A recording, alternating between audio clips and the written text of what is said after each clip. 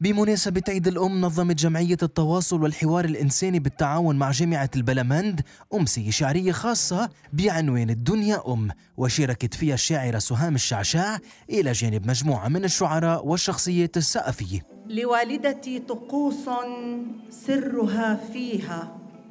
يجيء الصبح توقظني تسرح شعر ماضيها. صباح الخير يا أمي. تقبلني تزينني لما يأتي وتوقد بي أمانيها. كاميرا أغاني أغاني والزميل ألان صالح التقوا سهام على هامش الندوة فتحدثت عن مفهوم الأمومة وحبها الكبير لابنها اللي جعلها تحس فعليا بعيد الأم. الأمومة بتحس بقيمتها أكثر بس الامرأة تصير أم أو أو البنت تصير أم لأنه بتحس حالها قد إيه كانت آه، مش حاسة بحيثيات الأمومة أو أو بتبعات الأمومة الأم مش بس كلمة بنقولها مش بس مسؤوليات وواجبات وجبات وطبخت وغسلت وحممت وسهرت. في أشياء من جوا بقلب الأم بتتغير. بتصير آه، حتى محبتها لنفسها بتتغير. بتصير تخاف على حالها أكثر آه، بتصير حريصة على إنها تكون بكامل صحتها وقوتها وطاقتها. كرمال عائلتها وأولادها. آه، هالشيء خلاني يعني أعرف أنا مع ولد واحد. شوف أمي مع ثمان أولاد. هالإحساس المتكرس والمتجذر فيها قد إيه كبير وقد إيه عالي. إلى جانب ابنها جيل تحدثت سهام أيضا عن والدتها وعن الأثر اللي تركته فيها من صغرها حتى اليوم. أنا لما طلعت من بيتي وتجوزت أنا أخذت إيد أمي معي.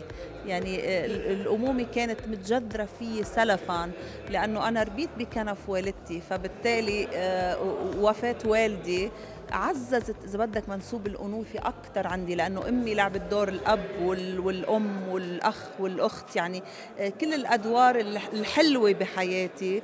فعززت في الأمومة من قبل ما أصير أم. بالحديث عن هالمناسبة الخاصة سأل ألان سهام عن سبب غياب أغنية عيد الأم اللي بتحمل توقيعها لتفاجئنا بعتبها الكبير على النجوم.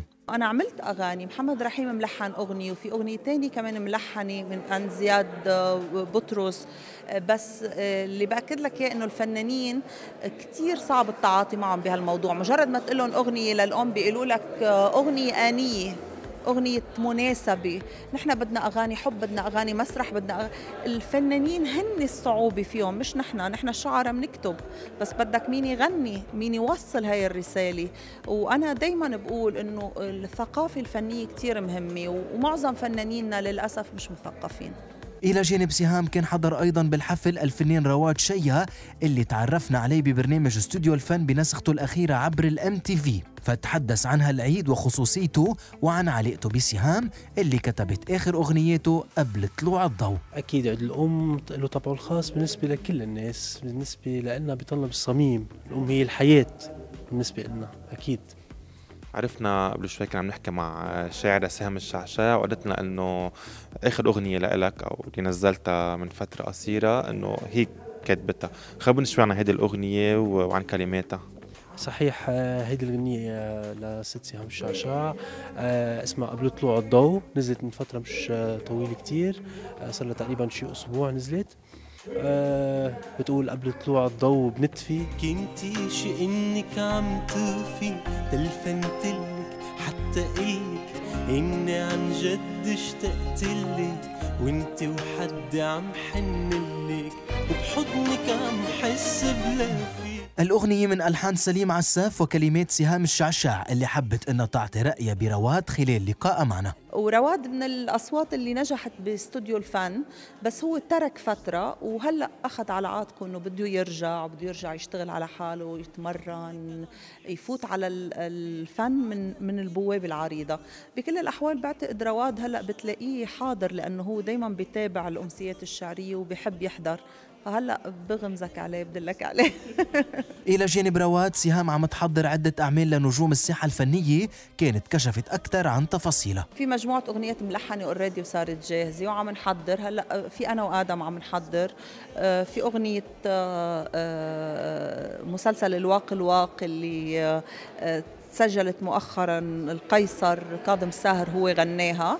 رح تكون أغنية شارة المسلسل. رح يكون في أغنية غنتها already سجلتها كمان كارول سماحة لمسلسل مدرسة الحب مع جمانة مراد.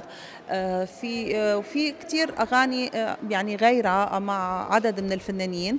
إن شاء الله كل شيء بوقته رح يتم الإعلان عنه. أصبحت ندوات سهام الشعشاع الشعرية والأدبية بمناسبة عيد الأم محطة منتظرة من عام لعام. على أمل ينعاد أم جول بطول العمر والصحة والمزيد من الإبداع والعطاء. أنا كتير مبسوطة بس شوف شعار أغاني أغاني بعرف إنه هودي أصدقائي اللي حريصين دايما على متابعتي موجودين معي.